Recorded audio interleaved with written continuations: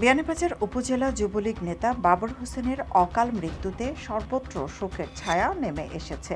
বৃহস্পতিবার সকাল আটটার দিকে ঢাকার একটি হাসপাতালে চিকিৎসাধীন অবস্থায় তার মৃত্যু হয়। ইন্নালিল্লাহি ওয়া ইন্না ইলাহি রাজিউন। বাবর গত মাস থেকে হঠাৎ জটিল রোগে আক্রান্ত হয়েছিলেন। বিয়ানীবাজারে আন্তর্জাতিক দুর্যোগ প্রশমন দিবস পালিত হয়েছে। এবারের প্রতিপাদ্য, দুর্যোগে আগাম সতর্কবার্তা, সবার জন্য কার্য ব্যবস্থা। বৃহস্পতিবার সকাল এগারোটায় দিবসটি উপলক্ষে শোভাযাত্রা ও আলোচনা সভা অনুষ্ঠিত হয়। বিয়ানীবাজার পৌর উন্নয়ন সংস্থা ইউকের নতুন কমিটির অভিষেক সম্পন্ন হয়েছে।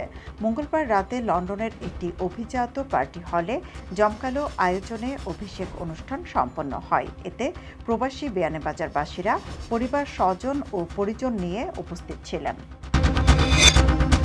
সিলেটের গোলাপগঞ্জে জাতির পিতা বঙ্গবন্ধু শেখ মুজিবুর রহমানের কনিষ্ঠ পুত্র শহীদ শেখ রাসেলের আটান্নতম জন্মবার্ষিকী উদযাপন উপলক্ষে প্রস্তুতি সভা অনুষ্ঠিত হয়েছে।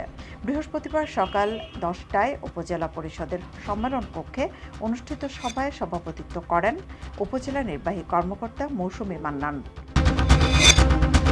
বিয়ানীবাজার উপজেলার জলঢুপ সরকারি প্রাথমিক বিদ্যালয়ের ম্যানেজিং কমিটির সভাপতি জাবেদ আহমদ সিলেট জেলার শ্রেষ্ঠ সভাপতি নির্বাচিত হয়েছেন। জাতীয় শিক্ষা পদক দুই হাজার বাইশে তৃতীয়বারের মতো জেলার শ্রেষ্ঠ সভাপতি নির্বাচিত হলেন তিনি।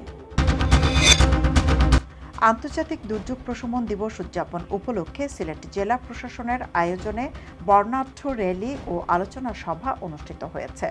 এবারের প্রতিপাদ্য, দুর্যোগে আগাম সতর্কবার্তা, সবার জন্য কর্মব্যবস্থা। শোভাযাত্রায় উপস্থিত ছিলেন সিলেটের জেলা প্রশাসক সহ প্রশাসনের দায়িত্বশীলরা।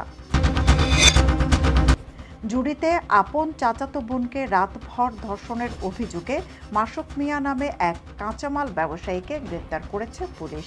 বুধবার দিবাগত গভীর রাতে উপজেলার সাগরনাল ইউনিয়নের রানীমুড়া বীরগুগালিস্থ নিজ বাড়ি থেকে তাকে গ্রেপ্তার করে।